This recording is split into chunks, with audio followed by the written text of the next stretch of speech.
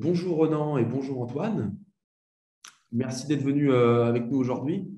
Euh, donc avant de vous laisser vous présenter, je vais euh, rapidement présenter le débat et l'objectif du jour. Donc on va parler de transition écologique, de participation citoyenne, d'agriculture urbaine dans les quartiers prioritaires.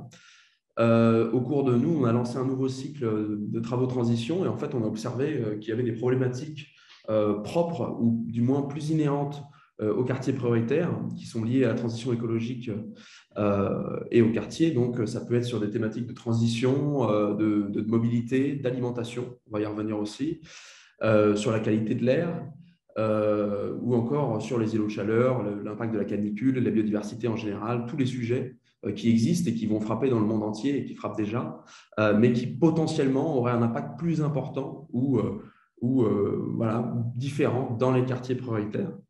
Euh, donc, euh, que ce soit aussi au niveau des épidémies euh, avec l'impact sur la biodiversité, on a vu que le Covid n'a pas été vécu de la même manière dans les quartiers que, ailleurs.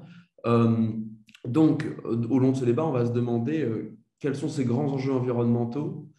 Voilà, vous, pourra les cibler. on aura peut-être, on va peut-être en retenir certains, notamment sur l'alimentation, l'agriculture urbaine, mais et la participation citoyenne. et donc, avec vous euh, Graines Populaires, donc l'ONG avec euh, toi Ronan Richard qui représente l'ONG Graines Populaires, donc tu reviendras dessus.